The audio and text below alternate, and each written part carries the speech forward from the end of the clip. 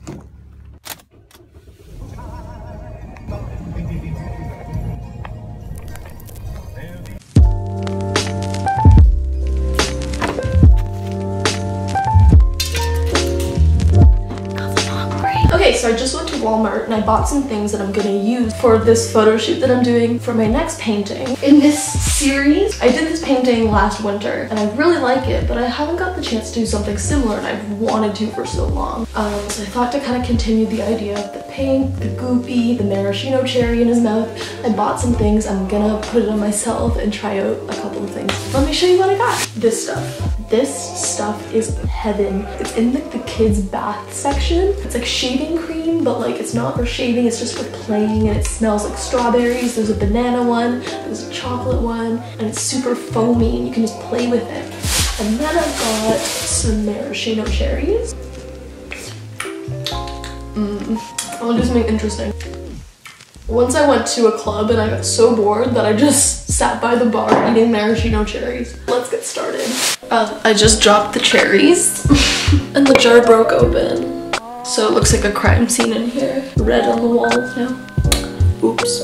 First of all, uh, YouTube, please don't demonetize me for nudity. I already don't have enough clothes as it is, and I don't want the ones I have now to get too dirty. And there goes the shaving cream. So I guess first step will be lip gloss because I think it would be a nice touch with everything else in the image, in my humble opinion.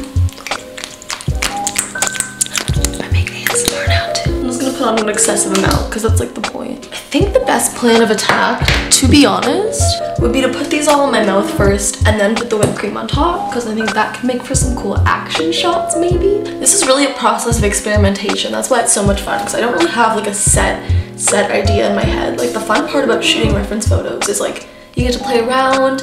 I always shoot it on video and then screenshot it later because it would be a different story if someone else was photographing me, but because I'm by myself, it's just easier if I capture it all in video, um, go look into it later, and then take screenshots of the parts that I like. Yikes.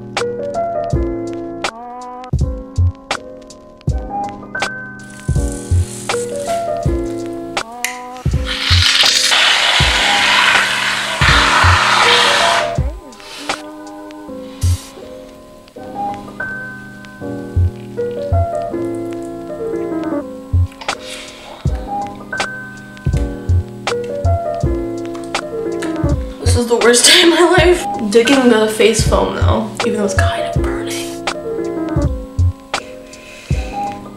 Oh god.